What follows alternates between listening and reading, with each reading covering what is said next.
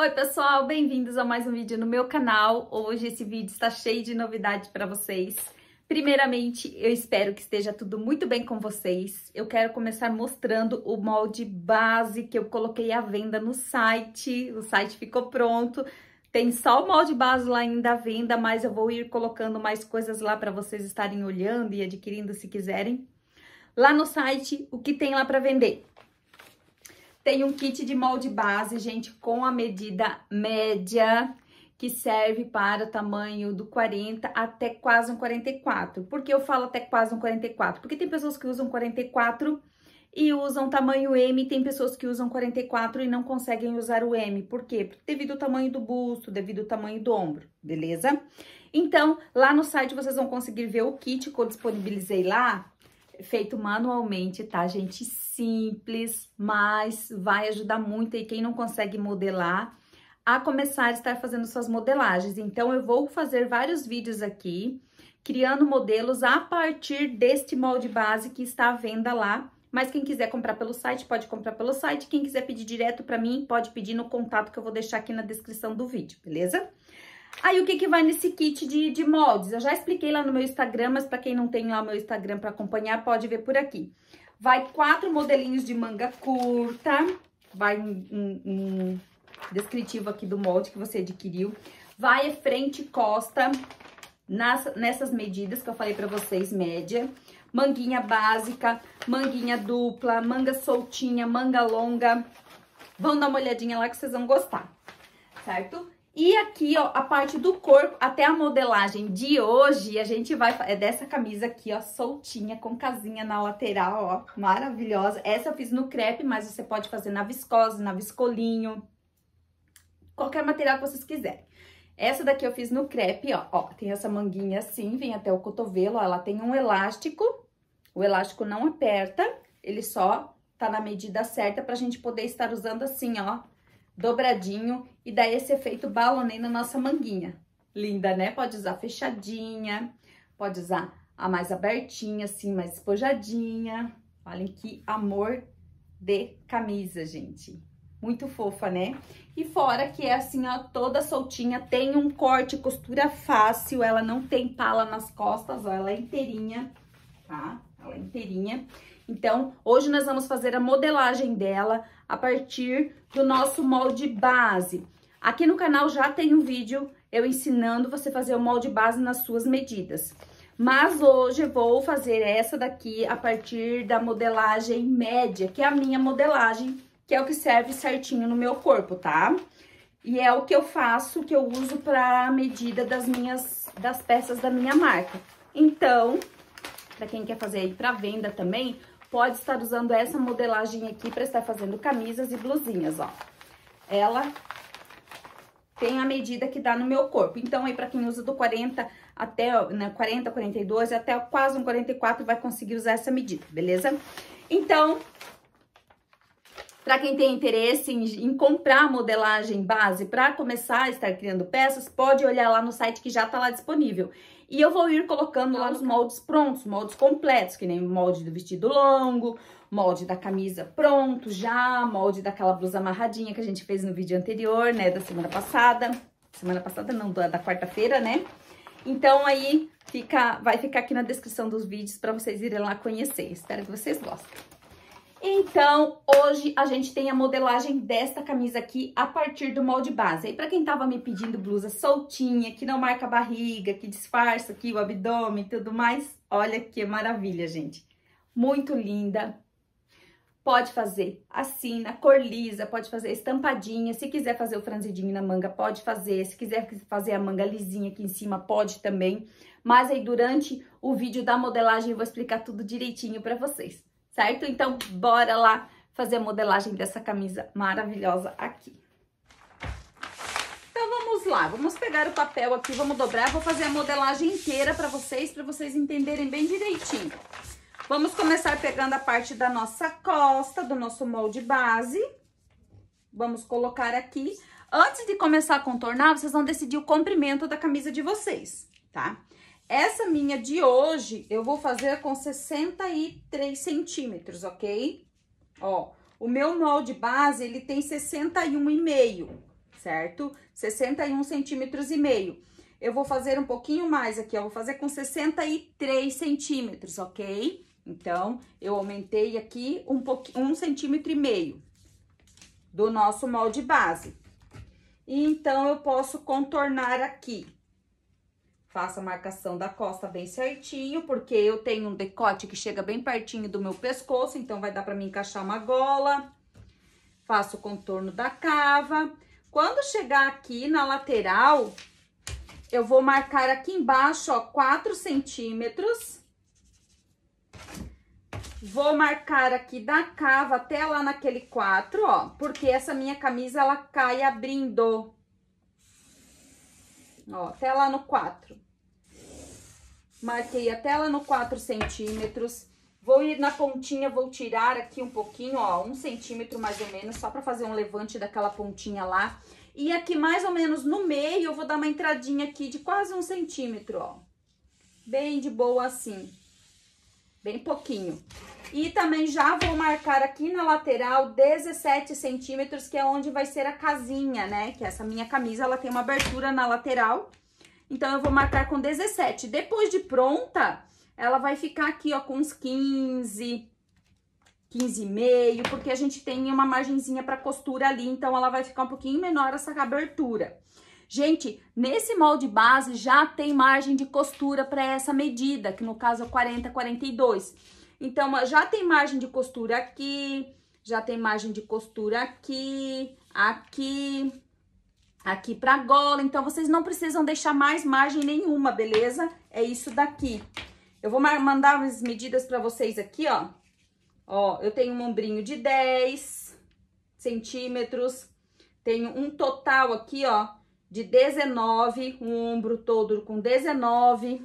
O comprimento do molde base, para quem não tem aí, ó, 61,5.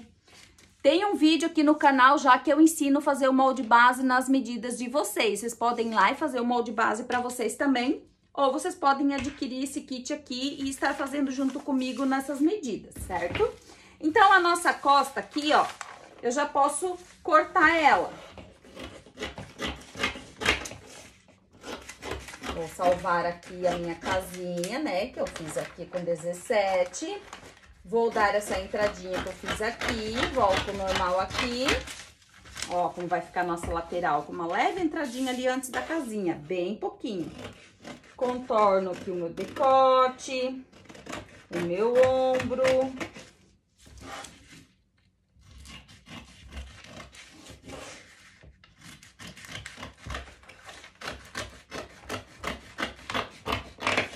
Gente, essa camisa veste muito bem, porque ela tem a manga soltinha, fica maravilhosa. E também daí vocês podem escolher um outro modelo de manga, né? Se vocês não quiserem fazer essa manga assim com um elástico, como eu fiz, vocês podem escolher outro modelo. Então, agora, pra fazer a nossa frente, vocês peguem a frente do molde de vocês lá, vão colocar aqui no papel, vão fixar ela aqui, né? Bota um pezinho em cima assim, ó, pra vocês não perderem uma marcação.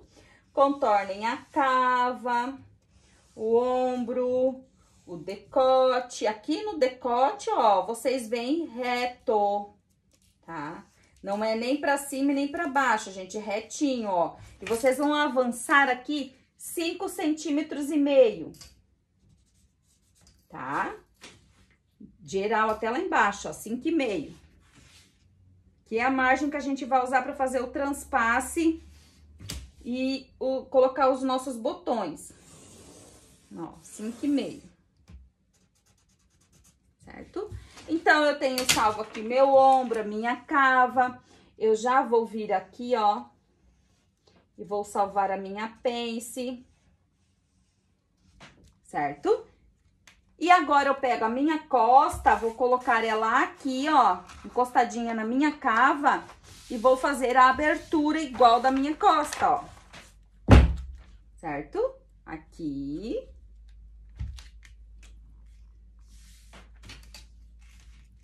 E vou acompanhar aqui a minha costa, ó.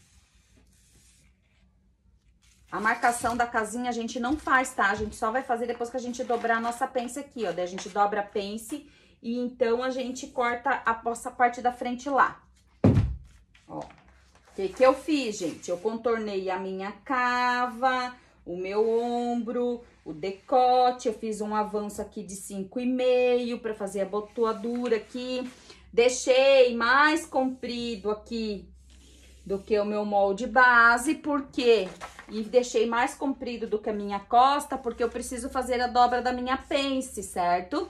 Depois que eu fazer a dobra da minha pence, aí eu vou cortar a parte de baixo, mas pela minha costa nova, aqui, ó, que essa daqui é a costa da camisa. E essa daqui é a minha costa do meu molde base. Vejam que a minha parte da camisa é mais larga, é um pouquinho mais comprida. A cava aqui, ó, é igual, tá, gente? Aqui eu deixei uma margenzinha, mas eu posso tirar, ó. Deixo a minha cava igualzinha aqui. A partir da minha cava que vai aumentar essa minha camisa aqui, ó. Tá? Eu preservo essa minha cava aqui que eu gosto. Então, é a partir, ó, bem certinho com o meu molde base, ó. É a partir da minha cava que eu vou aumentar e fazer minha camisa soltinha, beleza? Porque o meu molde base veste meu corpo já tendo uma folguinha. Se para vocês o molde base vestir bem atochadinho, mais apertadinho, então vocês podem aumentar a cava para deixar a blusa soltinha. Agora, se ele fica que nem vai ficar para mim, que nem fica para mim, vocês preservem a cava do jeito que ela tá ali, tá bom? Ai, Marília, eu vou fazer para venda. Não vou fazer para mim, vou fazer para vender. Então, segue esse padrão de 26 de cava, que é uma medida muito boa para quem veste ali do 40, 42, até dependendo do tamanho do busto da pessoa, dá para quase um 44, certo? Então vai ficar ali, é um ótimo, é uma ótima medida para quem usa tamanho médio, do 40 até o 44. Então, para quem vai fazer para venda, pode usar o padrão desse molde base aqui, que é o que eu uso para minhas peças, tá, gente? E o médio vende muito bem, beleza? Então, agora aqui, ó, o que a gente faz na nossa frente? A gente vai, pode cortar o nosso decote já, tá? Porque esse decote aqui, que é o do nosso molde base, ele encaixa a gola perfeitamente. A gente vai fazer uma gola por ele, certo? Agora, se eu fosse fazer um outro modelo, Marília, nós vamos fazer aqui no canal outros modelos a partir deste molde base aqui. Mas se eu fosse fazer um outro modelo, eu poderia abrir mais o decote aqui, poderia é, só fazer uma aberturinha com botão aqui na frente, poderia fazer N modificações aqui, certo? Porque esse molde é um molde base, ok? Então, aqui na frente a gente aumentou o nosso 5,5 aqui, né, ó. A gente fez aqui um aumento aqui dessa margem que a gente vai usar para fazer o transpasse do botão e colocar os botões. Agora, a gente vai pegar aqui, ó, e vamos dobrar a nossa pence, ó. Dobrar esse papel assim, antes, antes de cortar, tá? Vocês dobrem a pence assim, antes de cortar. Então, vamos lá cortar o nosso, a nossa cava.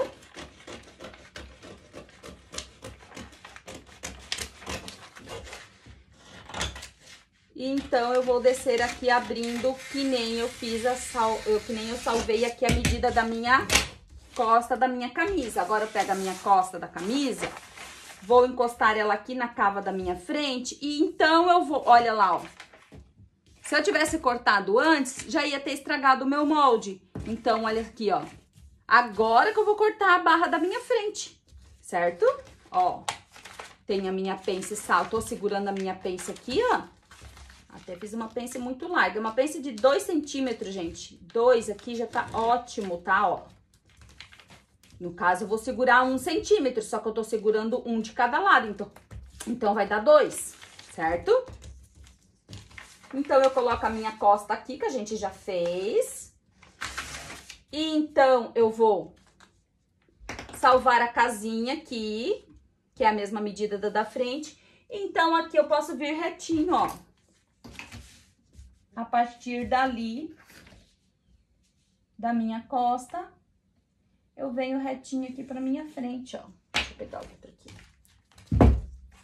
Sempre coloquem um pezinho assim em cima, pessoal, que ajuda bastante vocês. Ó. Aqui vai ser a minha frente. Ah, mas a frente vai ficar mais comprida, tá mais bicuda. Fica mais comprida assim. Porque na frente a gente tem o busto, atrás a camisa já cai. E na frente a gente tem o busto, né? Então ela precisa ter essa margenzinha da pence a mais ali, que fica muito bom. Ó, aqui, a gente alinha aqui as pontinhas bem certinho, esse biquinho aqui, vai alinhando ele, já salva a casinha aqui,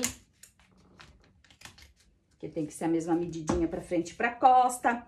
Vamos cortar aqui na frente, onde a gente já deixou salvo a medida que a gente vai dobrar. E a nossa camisa vai ficando prontinha, ó.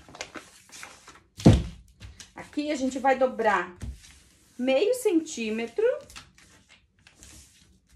Aqui. E faz uma dobrinha de dois centímetros assim. Essa é a margem que a gente vai dobrar pro nosso botão.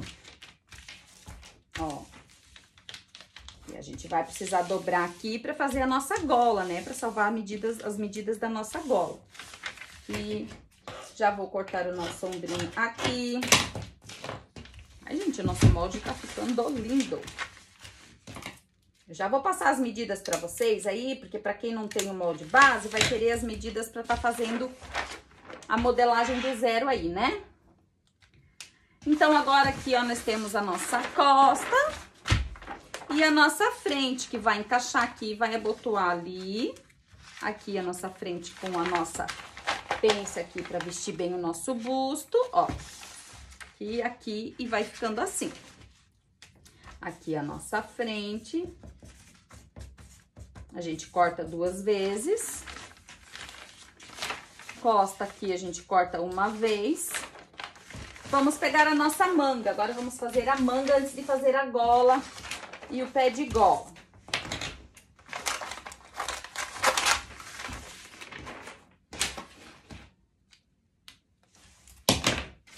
A manga, vocês vão pegar lá aquela manga que tem um franzidinho em cima. Deixa eu passar a medida para vocês aí que não tem a manga base. Ela tem 42 centímetros aqui embaixo e na parte que dobra aqui, ó, ela vai ficar com 41 depois de pronta, uma manga soltinha. Essa manga, né? Ela tem 27 aqui de comprimento e a cabeça da manga aqui, ó, vou, vou, marcar, vou medir só a metade pra vocês verem. Ela tem 31 centímetros, assim, gente, ó. Aqui em cima, essa manga, ela tem 31 centímetros, ó. 31 centímetros. Já a outra manga, a manga básica, essa manga aqui, básica, que vai junto lá no molde, que vai junto no kit, ela tem o meu 26 centímetros, ó.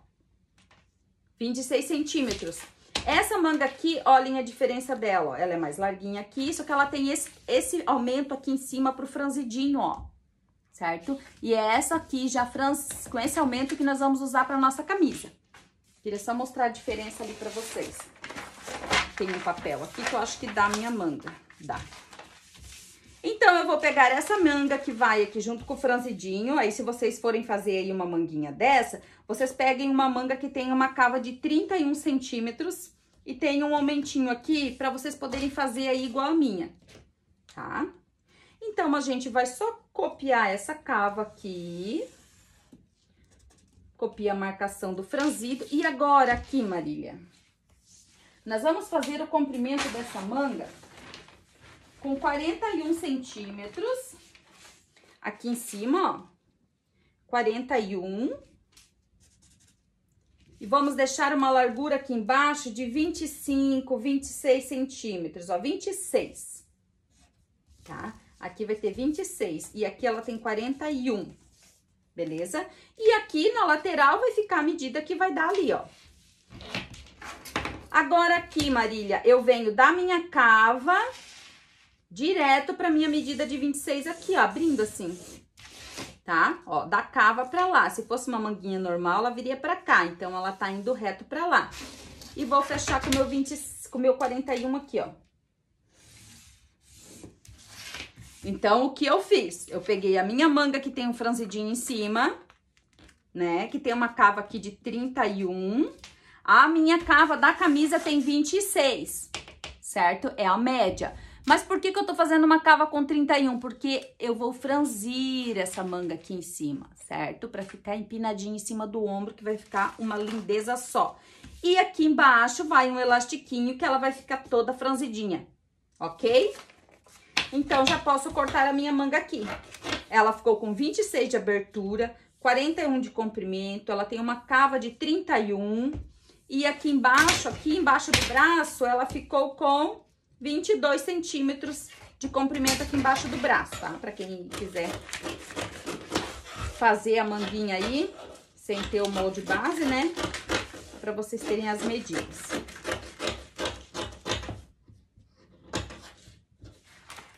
Aqui.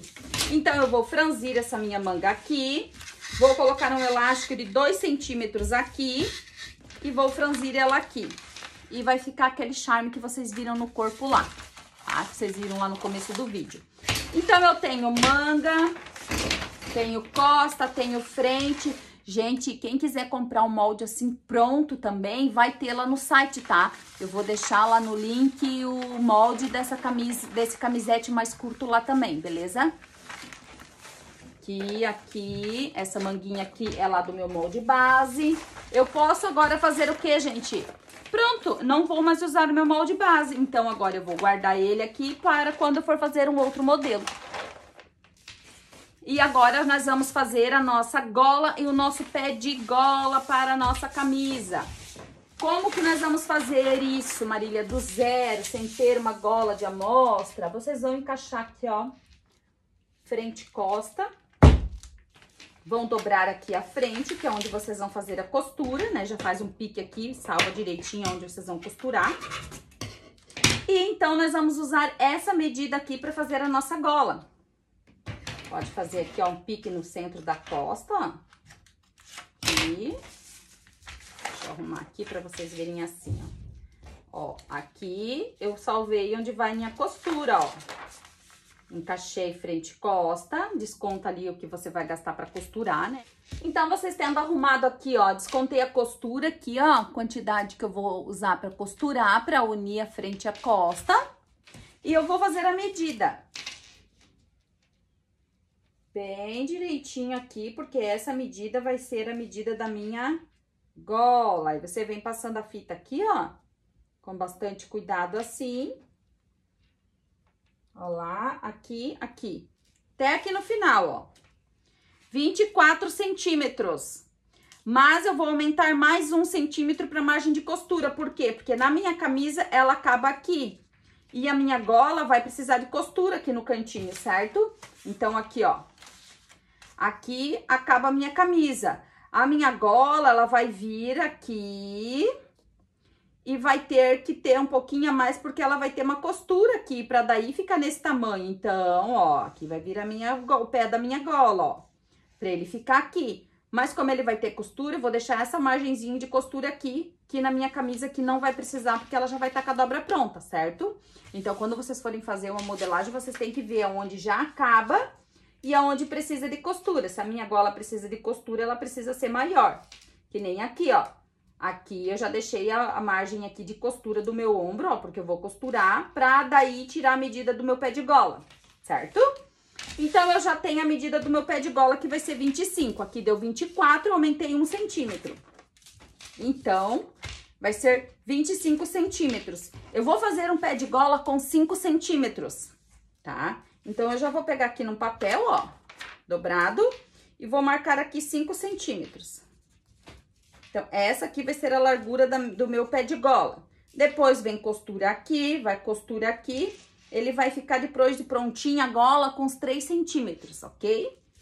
Então, agora, como que eu faço isso? Eu vou pegar aqui, ó. Eu tenho 25 centímetros, certo? E vou curvar. Ó, posso colocar minha fita assim, ó, e fazer uma curva pra cima, ó, de 25. Vou marcar aqui o ponto de 25. Ó, 25 centímetros. Marquei lá com 25. E vou alinhar aqui, ó. Curvando assim. Deixa eu pegar a minha régua curva aqui pra vocês verem. Vocês podem já direto pegar a régua curva de vocês e colocar aqui no ponto e subir ela 25 centímetros ali, certo? Até aqui deu 25, ó. 25 centímetros. Então, aqui, vocês vão subir os 5 centímetros, podem subir assim se vocês quiserem, depois vocês deitam ele assim, ó, 5 centímetros. E vão alinhar com essa outra ponta aqui. E assim vocês vão ir fazendo, montando a gola curva de vocês, ó, gola, a gola curvada de vocês. Ó, tem uma gola curvada aqui. Ai, será que isso vai prestar?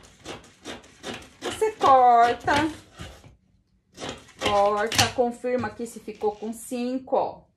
Não ficou com cinco, ó, ficou mais estreita aqui. Alinha aqui os cinco, olha aqui está com cinco. Olha aqui está com cinco, faz as curvinhas bem direitinho, cinco. Então, corta.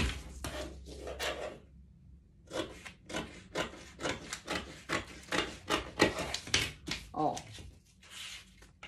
Você vai alinhando ela aqui, vai deixando ela perfeitinha. Tenho uma gola curvada, ó, mas ela tá muito grande. Agora, eu vou pegar essa golinha, esse pé de gola curvado que eu fiz. Vou colocar aqui e vou colocar assim, ó, com a parte maior no corpo. E vou vir como se eu fosse costurando, ó. Prende uma pontinha, gira, prende uma pontinha, vira, prende uma pontinha, vira. E vai encostando ela ali, ó. Prende outra pontinha, vira, prende outra, vira, prende outra, vira, prende outra, vira. Prende, prende, prende, prende, até aqui no final. Aí, você tira a pontinha ali. Ó, vai ter que tirar essa pontinha aqui. Aí, eu tiro essa pontinha e vou fazer de novo, gente, ó. Essa parte aqui vocês têm que fazer bem encaixadinha, por quê? Porque depois lá vai facilitar na hora de vocês costurar. Então, eu fiz a minha golinha curvada aqui, ó, do zero, ó, ó, curvadinha. Aí, eu posso fazer aquela gola retinha, Marília, pé de gola retinho? Pode, só não vai dar o mesmo caimento que esse daqui, beleza? Mas, vamos lá. Coloca lá, bem certinho ali, comecei a costurar. Vai encaixando, ó. Vai fazendo o círculo aqui encaixando, ó, pedacinho por pedacinho, gente. Como se vocês estivessem costurando lá na reta, ó. Tem que ser assim pra dar bem certinho, beleza, ó? Vem vindo, vem vindo, vem vindo. Sobrou margenzinha pra costura aqui. Beleza, ó. Contornou certinho o meu decote e ficou aqui, ó, uma margem pra mim costurar. Então, essa daqui é a minha gola, ó. Certo? Vai fazer o transpasse assim. Olha só que golinha linda. Aí, agora aqui, vocês decidem se vocês querem o final dela assim, retinho, ou querem ele curvadinho. Porque tem gente que não gosta desse, desse acabamento reto. Tem gente que gosta de fazer ela boleadinha aqui, ó. Pode fazer ela assim, boleadinha, ó. Fica a gosto de vocês. Aí, vocês só vêm aqui e fazem o boleadinho, beleza? Assim, ó. Ou deixa ela retinha ou faz ela contornadinha, ó. Se você quiser contornadinha, você só tira o biquinho e faz o pé de gola contornadinha aqui. A nossa gola vai vir até aqui, mais ou menos, a nossa gola. E tá pronto o pé de gola. Agora, pra fazer a gola, ficou mamão com açúcar. Vocês pegam um papel aí, normal, assim, dobrem, ó. Tá dobrado uma vez. Dobrado duas vezes. Agora, eu pego esse meu pé de gola, coloco ele aqui, deixo ele retinho assim. E vou fazer a marcação da minha gola. Eu vou deixar a margem de costura aqui. E vou deixar aqui, ó, dois centímetros, tá? Então, a partir de dois centímetros vai ser a medida da minha gola, ó. Aqui. Essa daqui vai ser a parte de baixo da minha gola, certo? E aqui. Então, aqui, ó, o meu pé de gola vai avançar dois centímetros aqui ainda, ó. Esse vai ser o meu pé de gola. E aqui vai vir a minha gola, ó. Simples, gente. Aí, vocês podem criar a gola de vocês, se querem ela bem bicuda, se querem ela mais retinha, se querem ela meio a meio, assim, né? Nem tão bicuda, nem tão grande, ó. Vocês vão criar a gola de vocês. Eu vou pegar a minha aqui pra mostrar pra vocês. Que é uma golinha que eu adoro, ó. Essa golinha aqui, eu amo ela. A medida dela é perfeita pra minhas camisas. Gosto muito dessa gola. Então, eu vou mostrar pra vocês aqui as medidas. Olha aqui. Olha aqui, gente, ó. Nós fizemos do zero esse pé de gola. E ele encaixa perfeitamente na gola que eu sempre uso nas minhas camisas. Eu tenho aqui no canal um outro vídeo de uma camisa alongada, uma, uma é, verde lima, assim, bem linda, tá aqui no canal. Nesse vídeo ali, eu mostro pra vocês uma gola que não é curvada, ela é mais retinha, tá? A costura dela é mais fácil, porque ela é reta. Mas o caimento dessa curvadinha aqui, eu gosto muito no corpo, certo? Dessa que ela é um pouco curvada assim, né? Aquela que tem aqui no canal, ela é um pouquinho mais reta assim, essa já é mais curvadinha. As duas ficam bonitas, mas eu ainda prefiro essa curvadinha. Por isso que eu tô ensinando ela pra vocês hoje aqui, pra vocês aprenderem a fazer do zero aí. Vocês tendo um decote aqui que feche com 24 ou 25, vocês podem fazer a gola curvada que ele vai ficar perfeito no, no corpo de vocês, tá? Ó, olha só, eu vou contornar a minha golinha aqui e aí, vou mostrar pra vocês as medidas. Aqui. E aqui. Ela tem na parte de baixo aqui, ó, 39, aberta, né? 39. Aqui em cima tem 46, aqui tem 9,5. E aqui no centro, aqui, ó, tem 8,5. Por que, que aqui tem 8,5 aqui tem 9,5, Marília? Porque aqui tem o bico, né, gente? Ó, aqui tem a ponta, certo? Então, eu posso cortar aqui minha golinha, ó.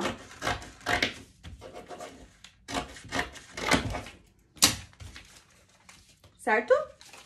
Já salvo um pique aqui no centro. Porque essa gola aqui, olha que linda, gente. Muito maravilhosa, né? Já vou guardar minha, minha do meu molde original lá. E aqui, o nosso pé de gola, ó. Olha só a diferença que daí ele vai encaixar aqui, ó. Olha só que lindo. Maravilhoso, né? E aqui daí a gente vai fazer a costurinha. Aqui vai a costurinha. Se você quiser fazer curvadinha aqui, você pode fazer redondadinha assim, ó. Pode fazer redondinho, pode fazer retinho. Ai, Marília, para costurar, qual que é mais fácil? Curvadinho ou retinho? Pé de gola aqui, qual que fica melhor? Fazer arredondadinho ou quadradinho?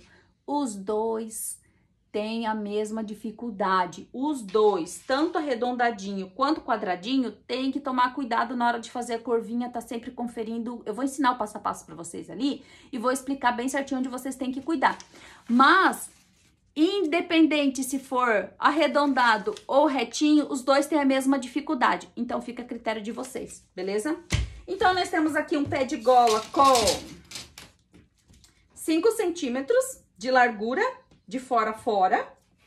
A curva de cima dele aqui, gente, deixa eu mostrar aqui pra vocês. A curva de cima, aqui tem 45 e aqui embaixo tinha 50 e... deixa eu medir de volta pra vocês. Eu lembro que tinha 50 e alguma coisa, 51. Ó, então, a meu pé de gola tem aqui na parte de baixo 51 para vocês conferir o de vocês aí, para quem vai fazer a modelagem do zero lá. 51 aqui e 45 aqui. E a minha gola em cima aqui tem 46, 39 aqui embaixo, 9,5 aqui e 8,5 aqui. Prontinha a nossa gola. Ah, pessoal, temos que intertelar a gola, tá? Eu vou ensinar vocês aqui a, a um esqueminha para intertelar e ficar perfeita. Na hora que a gente talha, claro que quando a gente talha uma peça só, não dá nada, né? Mas quando a gente vai fazer uma produção que precise, que nem aí o pessoal que vai querer fazer para venda, que precisa é, ficar perfeito e ficar um padrão, vou mostrar aqui para vocês.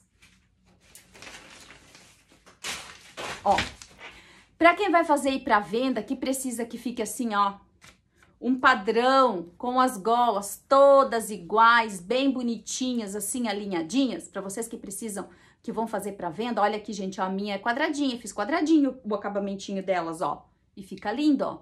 A dificuldade do quadradinho pro arredondadinho, como eu falei, é a mesma. Para vocês que vão fazer para venda e precisam que fique assim, ó, todas bem alinhadinhas no mesmo tamanho, no mesmo padrão, sem variação, que nem as minhas aqui. Para ajudar vocês na hora de talhar essas golas, o que vocês vão fazer? Pega o tecido, corta o tecido lá. Na hora de, de talhar a peça, separa o tecido inteiro para você talhar a gola e o pé de gola. Então, você vai lá e corta um pedaço de intertela que cabe nesse tecido. Então, você cola os dois, tá coladinho aqui tecido com intertela. Então, você vai lá com a gola, risca a gola, risca os pés de gola. E aí, você corta. E vai ficar assim, ó. Bem retinho, bem bonitinho. Pode cortar na tesoura ou na maquininha. Eu cortei na maquininha essas daqui mas cortando até na tesoura facilita demais, beleza? Então, tendo explicado isso daqui, tá tudo ok. Forma de talhar ali a gola de vocês, certo? Então, assim, ó, pessoal, espero que vocês tenham gostado da modelagem de hoje, tá? Quarta-feira a gente vai talhar e fazer essa camisa aqui, aí eu mostro tudinho, passo a passo pra vocês aqui da casinha, tudo como é que eu fiz nesse modelo. Manga, gola e pé de gola. Expliquei para vocês aí como que vocês vão conseguir adquirir, né, o meu molde base aí para vocês estarem fazendo a numeração, a, me, a medida M lá. Aqui, pro pessoal que vive me pedindo. Lá pelo site, pessoal, vocês podem comprar no cartão, no boleto, como vocês quiserem. O preço tá lá explicadinho, tudo bonitinho. E eu vou ir colocando lá mais moldes e vou vender peças lá também para vocês. Então, espero que vocês gostem bastante, beleza? Então é isso daí, o vídeo de hoje tá pronto. Eu vou escolher um tecido bem bonito pra gente estar tá fazendo essa camisa aqui. Então, obrigada, gente. Um beijo. Até quarta-feira.